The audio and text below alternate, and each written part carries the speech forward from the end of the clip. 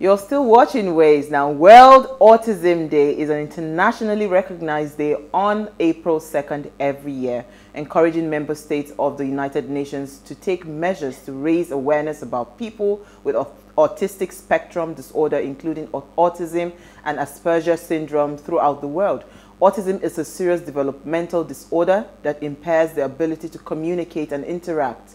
Autism spectrum disorder impacts the nervous system, the range of severity of um, symptoms can vary widely. Now, common um, symptoms include difficulty with communication, difficulty with social interaction, obsessive interest, and repetitive behavior. Now, early recognition as well as behavioral, edu uh, behavioral educational, and family therapies may reduce symptoms that support um, development um, and, and, learning. So Yvonne Odukwe is a vibrant and bubbly, multi-talented professional, and she's very passionate about maximizing the awareness and acceptance of autistic women and men through mentorship and training. She actively participates in various charity organizations while providing a platform to educate families dealing with autism to, um, disorder to dis discover rather develop and unleash their children and adults full potential in life. And she's joined in the conversation live all the way from the united kingdom. Thank you so much Yvonne. Hello everybody. Nice to be here. Hi ways thank you Yvonne. Thank you. we are happy to have you. I mean when um, Isi spoke to me about um, you know, your interview, I watched it and I was blown away. I said, okay, we have people that, you know, are really, really passionate about this subject because a lot of times, maybe let me start with this. You know, a lot of times when the doctor diagnoses the child, you know, has been autistic, the first thing you hear parents would, most parents will do is, God forbid, they now start to take the child from one church. Please is there any is there any demonic uh, connotation to autism? Because everybody just feel like it is the devil that has entered somebody and there's a spirit that needs to be cast out. Yeah yeah. Well it's you know the thing is what you don't know you want to attach something to it and that is the problem. For for our people at home you know the awareness is still not there. It's everywhere actually. You know let's not just talk about africa or nigeria.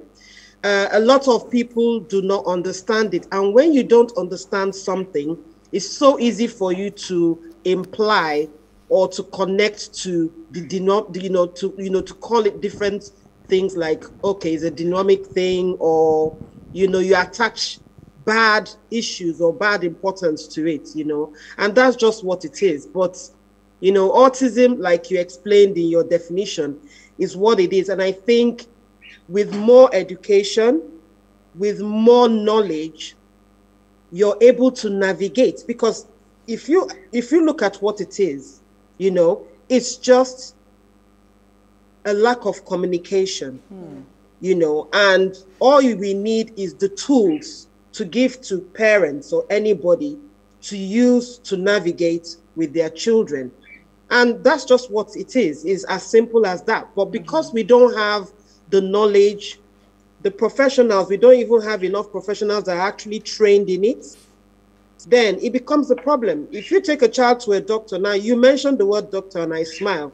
Nine out of 10, I don't even, I've, I've faced in my life, I have to even tell the doctor what to do. A lot of hmm. doctors don't know anything about it you know, because it's not really like a medical problem, so to say. Mm. So when you go to the doctor, the doctor will go, Well, you know, let me think about, let me consult about it. This is not something that I know of, mm-hmm. you know. So it's a very big problem. Yeah. yeah. Okay, thank you very much. I find this, um, I find this um, talk about autism very interesting on one hand, and I'll explain yeah. why. Because you rightly said the awareness about autism is quite low. Because, as was yeah. said, people attribute so many things to why a child is not behaving right or not yeah. having normal developmental um, development um, developmental progress. progress. Thank you very much. And I hear people talk about the spectrum you know, that there's a spectrum yeah. of autism. Please, can you tell us more about the spectrum and what, what does the spectrum really measure? What is it really about? Okay, when the when you when okay when you when you know when you get the diagnosis that you are autistic or you're on the autistic spectrum, it just means that no no two children are the same. So you would find if you look at the spectrum you have people on the low side of it all the way up to those that are they use the word higher function lower function which again that's another topic for another day. I question the use of labels because when you say someone is higher functioning does it mean that they are so okay that you ignore them? Mm. When you say they are lower functioning, are they so bad? Mm. You know, so there's so many problems with even what we are seeing now, even with the diagnosis. You understand? But technically, in my own words, in my own understanding from what I've been doing, the spectrum is just, you're not going to find two children the same. So if my child has autism, your child has autism, we can't sit down and compare notes. The symptoms will present differently. Yes, everybody's going to, you know, it all depends on your genetic makeup, obviously your environment. If one person started earlier with early intervention more than the other. Mm. So they're just various things, you know, which is where people get it wrong. You know, when they say, oh, my child has autism, but he's talking. And then another child has autism, but he's non-verbal. Mm. These are mm. other issues that also are attached to it. So you have people that don't speak, you have people that don't. But for me, the key thing in everything is all about communication, mm. you know, which comes back to this awareness we're talking about. Yeah. so, know. so Yvonne, you have a daughter that um, is autistic. First of all, I mean, yeah. I asked you shortly before we started the show, and you said she's now 20 years old. Mm. So I would like to, I would, I would like to, I would like to hear how the journey has been? Is it something that the child outgrows or the child lives with it all their life and they're able to now, because they now have a clear understanding of it and they manage it better, right? So, and the, because you mentioned something just now about early intervention, does early intervention truly help when it comes to managing autism? Yes, it does. Actually, the sooner you know about it, the better, so that you can actually put things in place you know either you're putting therapies in place or even it even helps the families to be well equipped to know what they're about to deal with mm. so that you know how to let's say plan yourself you know on your everyday life now autism is not something if you have autism you have autism that's just it that's just what it is you've got that label you now need to say okay this is my child and it's specific to your child.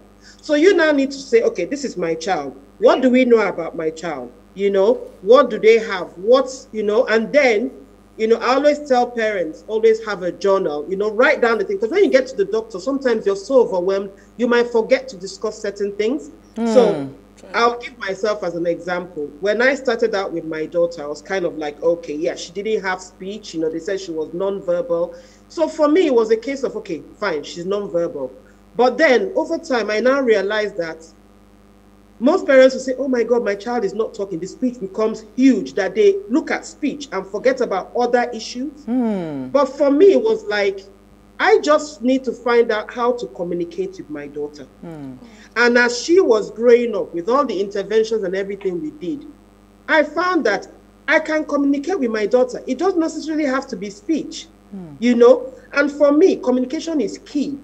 I'm not even worried about speech. If my daughter never speaks, it's not really a problem.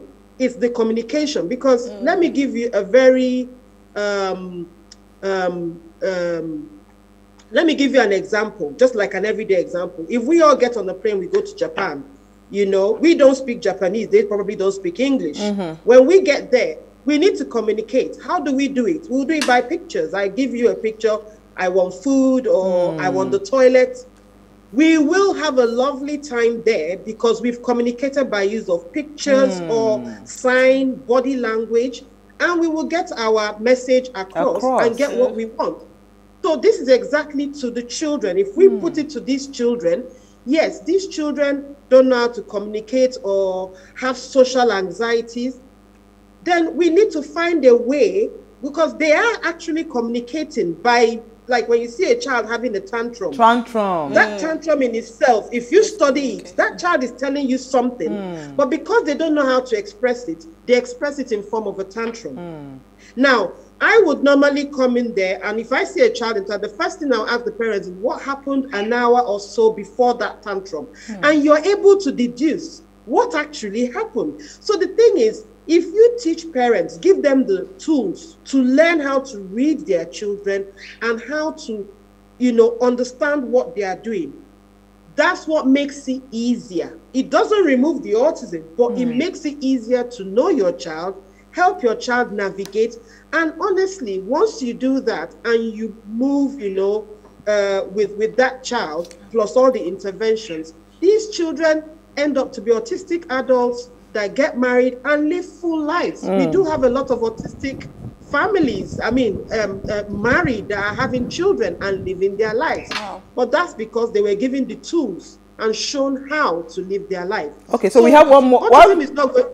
Okay, one more minute quickly because we just we ran out of time quickly. Okay, so please, I just want to I just want to touch on myths about um, because we can't end this without talking about the myths of autism. So yes. there's one myth that I know goes around even in movies that people that are autistic are gifted, so they have one special ability that no one else in the world has. So a special part of their brain is well. How true is that? And can you just expand on one or two other myths? Like so in, like in a, in a second. yeah, in a second. Thank you every autistic child is gifted just like every child is gifted mm. some people are better you know like so there's no gift there's no myth there's no nothing mm. it just happens to be that if you stumble upon a child who now shows you their strength you know then they say okay the child is gifted there's no magic that comes in mm. autism who if you see an autistic child who is gifted maybe can draw or something it's the same thing as what you will find with any child that is gifted mm. it's nothing to do with the autism it's mm. just that hmm. that child is gifted. was opportune